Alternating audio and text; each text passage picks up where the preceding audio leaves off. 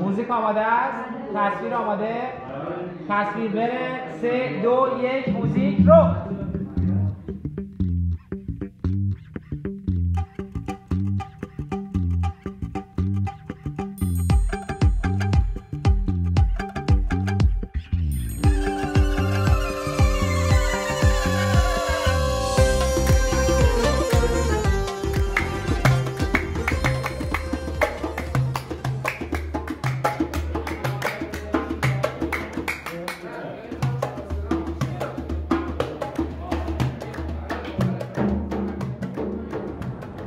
قطعه اوبردوم یکی از قطعاتی بود که ما خیلی وقت بود دوست داشتیم که روش کار کنیم.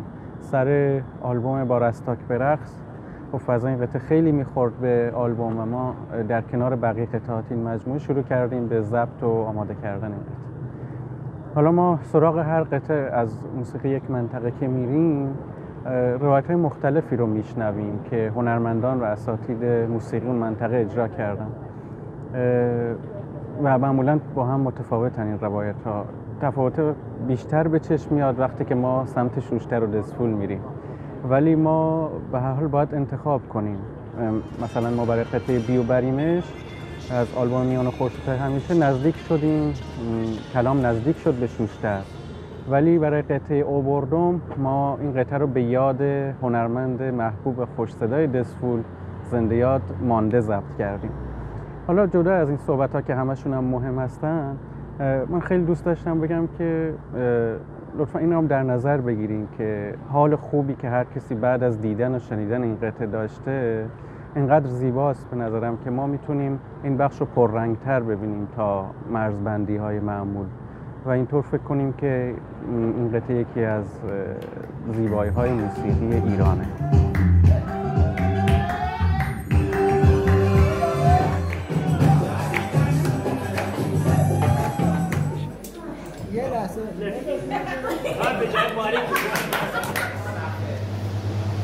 میچرخون دیگه.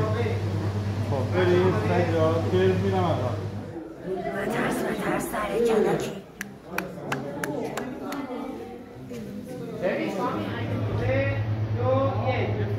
ما فضای تصویر قطعه اوبردوم رو خیلی رئال می‌دیدیم و قصد داشتیم که در یک لوکیشن در خوزستان این کار رو تصویر برداری کنیم. اما به دلیل پاندمی متاسفانه امکانش برامون فراهم نشد و تصمیم گرفتیم که کلا با یک فضای سورئال این قطعه به تصویر بکشیم. با توجه به شناختی که از پیام قربانی و کارهای گذشتش داشتیم احساس کردیم که پیام می‌تونه بهترین انتخاب برای کارگردانی این کار باشه. که خوشبختانه پیام جان هم از همون دیدار اول خیلی با این قطعه ارتباط برقرار کرد و ایده هایی رو مطرح کرد که برای ما هم خیلی جذاب بود.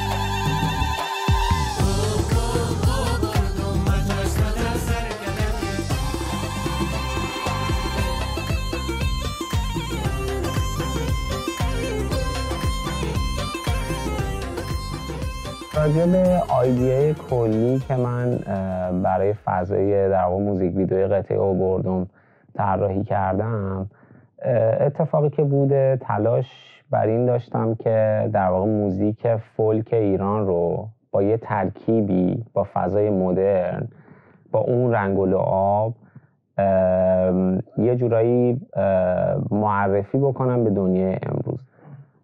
در مورد لباس ها و کل حالا کاستیوم دیزاین باز همین اتفاق تعمیم داده شده و اگر قرار بود که بیایم مثلا از همون رنگ و لعابی که توی اون خطه استفاده میشه استفاده بکنیم اون چیدمان رنگ و هارمونی رنگ اتفاق نمیافته علت این که از خیلی ویژوال استفاده نکردم موزیک خیلی برام پیور بود. احساس می‌کنم که اون اون حس رقص یا اون حس حرکت امواج مثلا ما شاید می‌تونستیم امواج رو حتی دیجیتال اضافه بکنیم به فضا. منتها این اینکه مثلا یه, یه پارچه شبیه به موج دریا حرکت بکنه. شاید حتی شما بتونید حدس بزنید که دو نفر سر و پارچه رو گرفتن دارن اینو تکون میدن یا موج به وجود میارن. و همین که یه حال تئاتر گونه ای میده که به نظر من خیلی اتفاق جذابی می‌تونه باشه هم به لحاظ فرمی هم به لحاظ حس و حال کلی موزیک ویدیو مثلا شخصیت پسرمون رو من اومدم لباساشو برگرفته از فانوس دریایی طراحی کردم و همه آدم فانوس دریایی رو می‌بینن. یاد این میفتن که خب okay فانوس دریایی یه جورایی میشه گفت شبیه به یه ناجی عمل می‌کنه. و خب شخصیت پسرمون هم توی این کار ناجیه. طبق داستانی که داریم حالا دختر داره غرق میشه یا ترس از غرق شدن داره و پسر مدام این نوید رو بهش میده که فرق نمیشی من مراقبتم روی کلک.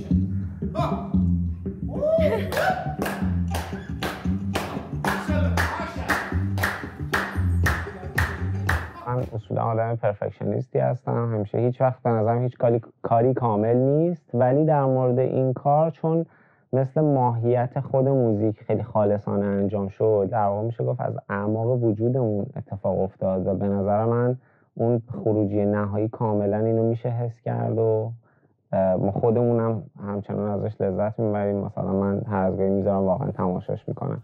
و اون حس خالصانه خیلی بر من دستاورد جدیدی بود. که بعد توی کارم نمود پیدا کرد و خروجی حس میشه